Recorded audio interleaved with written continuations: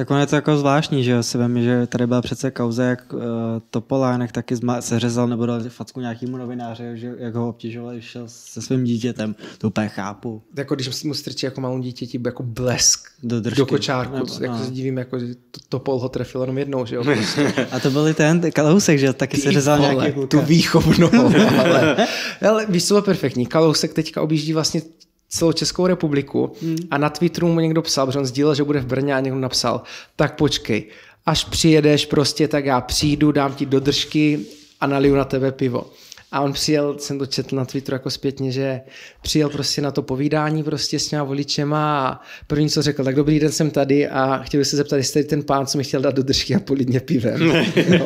Jako od dvoumetrového kalouska jako nechceš, že jo, aby tě, jako, aby tě vypnul prostě.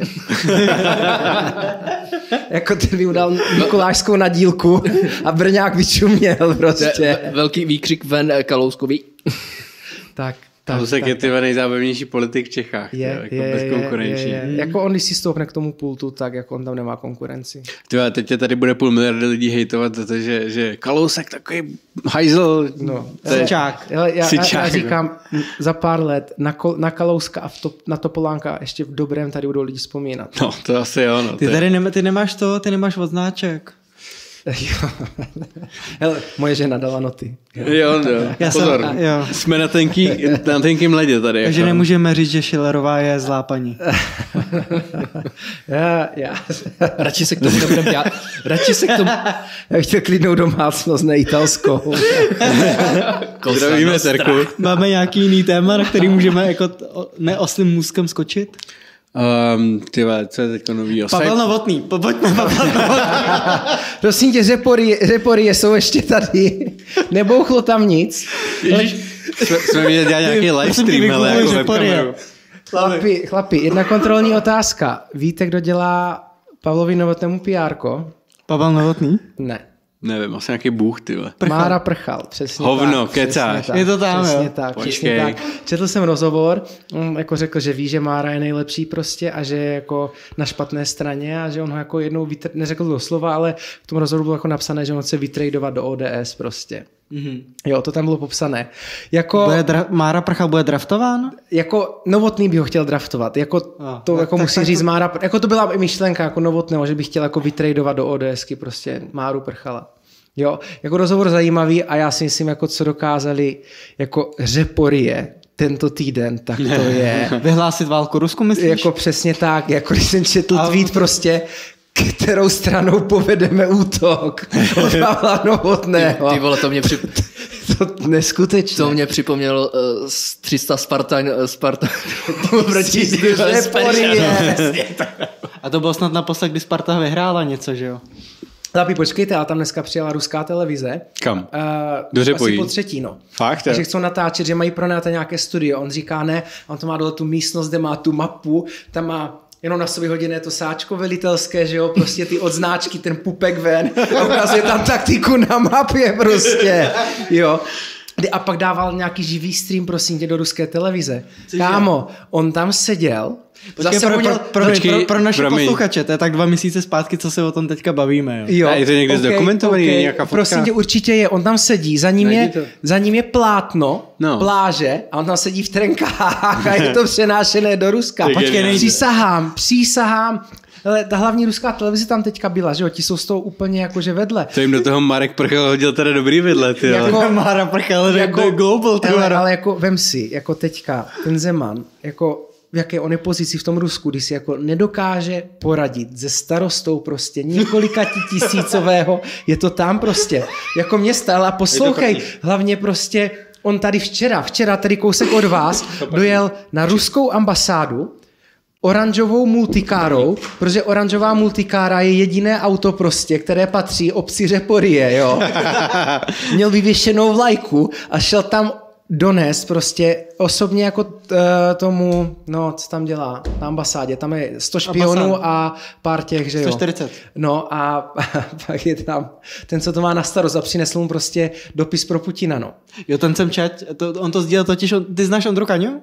Uh, vím, o koho jde. Jo, jo, tak, jo, tak on to sdílel přece na Facebooku teďka, že jo. A pak tam napsal potom, myslím, že Pavel Novotný, my president, nebo něco takového. Ano, ano, ano, ano, ano, ano. Ale já jsem s ním jako jako četl rozhovor, že jako čím je starší, tak jako víc uhýbá jako myšlením doleva, jako do středu, jako že on je asi nejvíc levicový člen ODS.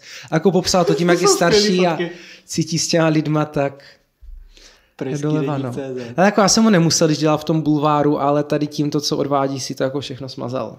Mm. Pan Pravda, no. Jako minimálně je to asi dobré jako starosta ty městské obce. Já ho sleduju občas, ona je na MOL TV, ten jeho pořad, mm. jo. A to je docela sranda to občas sledovat. Rozhlas opravil, že jo. Cože? Tam opravil rozhlas, pouští tam normálně přes den skladby do rozhlasu. jo, jo. Viděl, Laca Deči ho vyprodal prostě jo, jo, jo. tři hodiny, že jo. Sokolovská. Že... Sokolovská, tá, Sokolov, Sokol... Sokolovna Řeporie, no. Sokolovna Řeporie vyprodáno Laco Deči. Ne, jako, ale jako tak malá prostě dědina, když to řeknu, a jako jak zasáhl do Ruska prostě, tam z toho mají dobrý den, teď jako zastavili teďka tu výpravu ve středu, že jo? Cože, jakou výpravu? Uh, Tomán, myslím, že, čeho je Tomán ministr? Zemědělství? Jo. Jo, zemědělství, tak byl se skupinou podnikatelů na týden uh, v Rusku jako domluvat kontrakty a teďka vyšla vlastně zpráva BIS, hmm. jo, a, a vyšla tady tato věc. Oni ve středu stopli, zněli z Moskvy letět do nějakého jiného města 12 minut je prostě nechali, teda dva, se, 12 hodin nechali čekat a řekli, ne, vy nebudete cestovat a poslali zpátky do Česka. Fakt, jo. Kvůli, kvůli zprávě BIS a asi kvůli řeporím, no, takže jako smekám, jako smekám, tak to zahýbat světovou To se docela povedlo, to je. Tak to je skoro to samé, jako když Číňani řekli, že kdokoliv, kdo má v názvu jakákoliv instituce nebo organizace, která má jako v názvu Praha nebo Praska, tak vlastně nesmí vystupovat v Číně, že Tak byla teďka kauze, že spousta těch souborů uh, divadelních nebo um, operních, tak prostě nemohla vystupovat v Číně, protože tam měli prostě někde v názvu Praha. Tam kvůli, kvůli vypovězený smlouvě, že jo, pražským primátorem, ano, nebo, ano, nebo nevypovězeným, ale ale že chtěl vyndat ten dodatek, no. No, to je asi jediná, jediná věc, za kterou dávám Hele, tak já palec ne... nahoru, no. Takže Pavel, Pavel, Pavel Novotný si tady můžu odškrtnout, říkáš. Přesně je? tak. no, doufám, že ho pozvete, protože toto je... To byl dobrý host, jo. No. To může, jsem... zapneš kameru a na tři hodiny odejdeš. Jo, jo, necháš flašku a se vrátíš. je výborný, no. Ale on byl to, on byl teďka u Čermáka, on má, by the way, Miloš Čermák má úplně bomba podcast, jmenuje se to 1%. Uh-huh. A teď tam byl Pavel Novotný. A on říkal, hele, jako, kdyby, kdyby, kdybych byl dobrý moderátor podcastu, tak to mohl být dobrý rozhovor. Já jsem teda jako otázky pokládal, ale Pavel neodpovídal. a tak začíná to introduction, jsem říkal, dobrý. A pak to pustil, prostě tam bylo 35 minut jako rozhovoru, podle mě měl nahraný tak 4 až 5 hodin. A prostě jenom prostříhával ty dobrý části části z toho rozhovoru. Jo, jako on jede, on když to spustí, tak to je neskutečné. Ale jako, když se díváš na ty reálné věci, co on v těch řepojorích dělá prostě a jde proti těm, mm, tam jsou nelegální jako ubytovny a tady tyto věci, tak jako já v tom faním, jako dělá to neskutečně dobře a asi ten památník těm vlasovcům tam určitě patří. Já, jako, to je docela zábavný, protože já tyhle ty zprávy nebo takové ty novinky, co se děje, tak dostávám primárně z tvýho Instagramu. Když sdílíš svoji oblíbenou sekci ty internety, že jo? Nejlepší. Nebo co je nového na internetu.